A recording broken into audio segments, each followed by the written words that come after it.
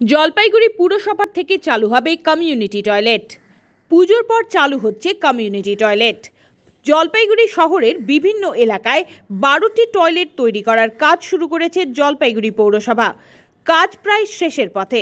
পুজোর পর চালু হচ্ছে এই কমিউনিটি টয়লেট বলে জানিয়েছেন জলপাইগুড়ি পৌরসভার প্রশাসনিক বোর্ডের অন্যতম সদস্য সন্দীপ মাহাতো।